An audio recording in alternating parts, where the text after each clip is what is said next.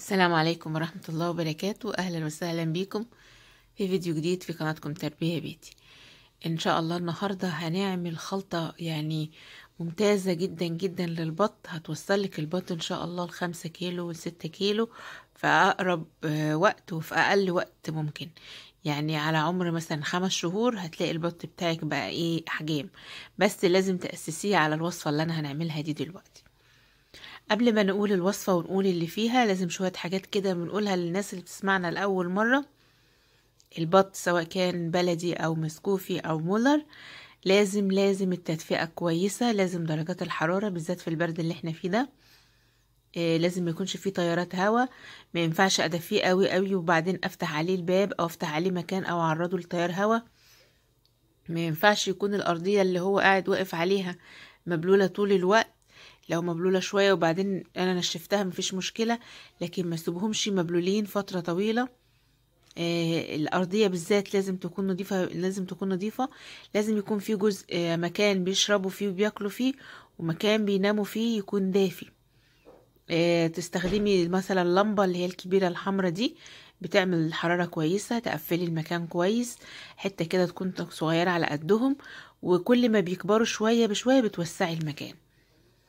آه ما بحبش أربي نوعين طيور مع بعض علشان إنك تربي نوعين طيور مع بعض بتبقى في أمراض كتيرة قوي إحنا في غنى عنها. خصوصا إن إحنا مش بنحصن خالص آه مش بندي أي تطعيمات ولا أي تحصينات ولا أي حاجة من الكلام ده كله. إحنا ماشيين علاج طبيعي آه تربية بالأعشاب. ما بنديش أدي أدوية إلا في الضرورة لما يكون في أمراض شديدة. بنضطر نلجأ لأدوية وما بنديش بيطري كمان بندي أدوية بشري. فإحنا الحمد لله يعني التربية بتاعتنا كلها بدون أدوية خالص بدون أي تحصينات كده يعني ماشية بالمواد الطبيعية بالأعشاب الطبيعية.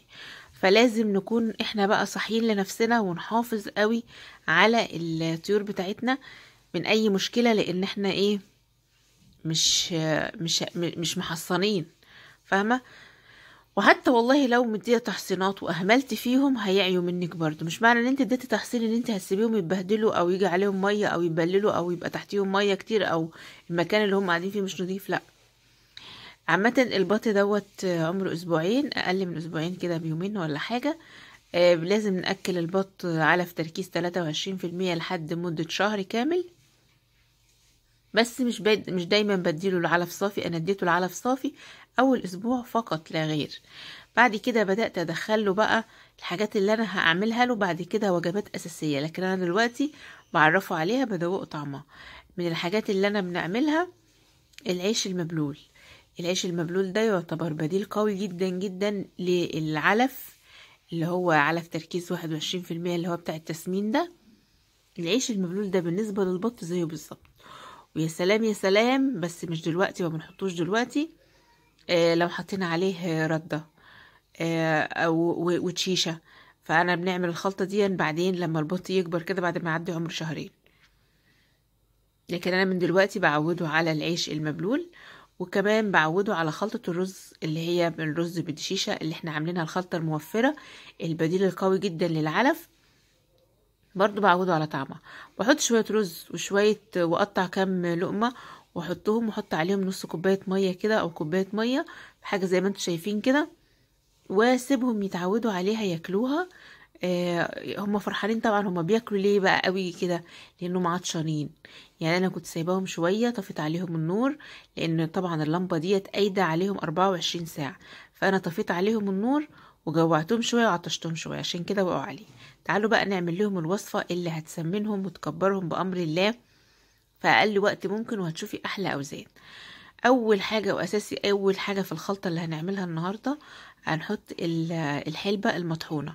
هتروحي عند العطار وتقولي له عايزة حلبة مرة اللي هي الحلبة المطحونة أو الحلبة البلدي المطحونة. هي عند العطار اسمها كده الحلبة المرة. هنحط منها معلقتين كبار محترمين. الخلطه اللي إحنا هنعملها دي أنا هقولك دلوقتي هتعمليها إزاي وتحطيها إزاي بالظبط آه للبط بتاعك. عبارة عن أعشاب كلها وحاجات مفيدة جدا جدا تقوي المناعة وتفتح الشهية وتدفي في الحر اللي إحنا فيه في الساعة اللي إحنا فيها دي. تاني حاجة معانا معلقة كبيرة من حبة البركة. معلقة محترمة كده من حبة البركة. دول كانوا آخر شوية في الكيس. حبة البركة دي إحنا عارفين طبعا قد إيه ممتازة جدا بترفع المناعة وجميلة جدا جدا جدا وحلوة برضو في التسمين وفي زيادة الوزن. حلوة جدا لأنها بت بتظبط ال- الهضم وبتظبط ال- ال- الصحة عامة فبالتالي بتفتح شهية الطائر للأكل. تاني حاجة تالت حاجة معانا وديت أساسية في المرحلة اللي إحنا فيها دي وهي مرحلة النمو هو النشا. النشا إحنا قلنا عليه في الحلقة اللي فاتت بالظبط بالتفصيل كل مميزاته وإيه أهميته وقلنا إن هو مهم جدا جدا للنمو.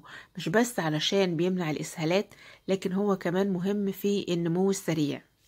الخلطة دي هتكبر لك البط بأمر الله بأقل وقت ممكن. وكمان معانا معلقة كده بس مش كاملة قوي من التوم البودر. التوم طبعا عارفين فوائده وعارفين إن هو مضاد حيوي قوي وبرده معلقة كده زيها من البصل البودر. برضو البصل مضاد حيوي قوي وممتاز جدا. أنا حطاهم كمان علشان دول لما بيتحطوا على الخلطات بتاعة الأكل بيبقوا فاتح للشهية قوي جدا.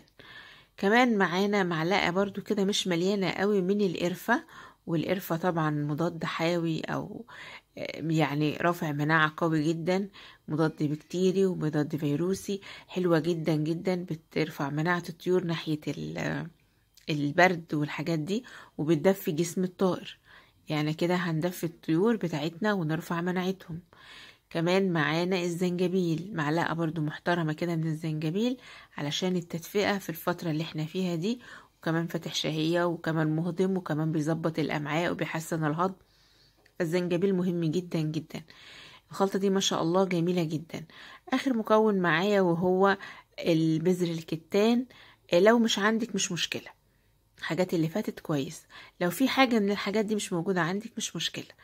آه لكن هي كده التركيبة على بعضها ما شاء الله لا قوة إلا بالله. هتشوفي أحلى وأكبر آه يعني أوزان عمرك ما شفتيها قبل كده.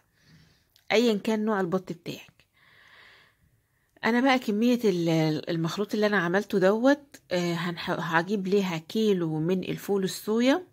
فول الصويا اللي هو مصدر البروتين من من عند العلاف مش بتاع ال- الأكل بتاع البني آدمين لا فول الصويا اللي هو بتاع البروتين. اللي هو بتاع الطيور أصلا. بيبقى ناعم كده زي البودرة دي كده وهحط عليها الكمية دي كلها على الكيلو الفول الصويا هحط عليه الكمية دي كلها. الفول الصويا ليه بقى؟ لأنه بروتين وأحماض أمينية عالية جدا. وبعد كده أخلطه كله كويس وهاخد معلقة أو معلقتين من دول وهنحطها. إما على العيش المبلول بس ما يكونش فيه مية طبعا يعني العيش ابله وبعدين أصفيه من مية وأرش عليه معلقة من الخليط ده علشان أضمن إن البط بتاعي أكل المعلقة كلها. أو إن أنا أحطها على الدشيشة والرز اللي إحنا بنطبخهم وبنسويهم للطيور بتاعتنا كبديل للعلف. لكن ما تحطيهوش على علف ناشف كده هيضيع منك في الأرض حرام. فأنتوا عارفين يا إما نحطها على الخلطة بتاعة الرز والدشيشة يا إما نحطها المعلقة ديت على ال- العيش المبلول. العيش المبلول هيشربها كلها وهيبقى يعني مش هيضيع منها حاجة في الأرض. والبط بالتالي هيجي ياكل العيش فهيكون إيه إذا البط بتاعك متعود على العيش وبدأ ياكل فيه حطيها عليه. ما لسه مش متعود على العيش قوي مش بياكل فيه قوي لا خليها على الخلطة بتاعت الدشيشة والرز وإن شاء الله هياكلوها في ثواني وقلبيها حلوة قوي بحيث كل حباية رز تندمج من ال- المكونات دي. آه، بإذن الله هتشوفي أحلى أوزان وأعلى أوزان. يا ريت بقى لو عجبتك الفكرة وعجبك الفيديو ما تنسيش تعملي لايك للفيديو وتشتركي في القناة وتفعلوا زر الجرس عشان يوصلكم منا كل جديد. وحابة أعتذر عن إذا كنت اتأخرت في مرة عن الفيديوهات لأن بيبقى عندي مثلا ظروف أو كده وأحيانا النت برضو ما بيكونش مظبوط عندي أوي. أنا بقى هعبيهم في بطرمان وهاخدهم آه، أعملهم بقى على الفول الصويا. آه، أتمنى يكون الفيديو عجبكم. شكرا والسلام عليكم ورحمة الله وبركاته.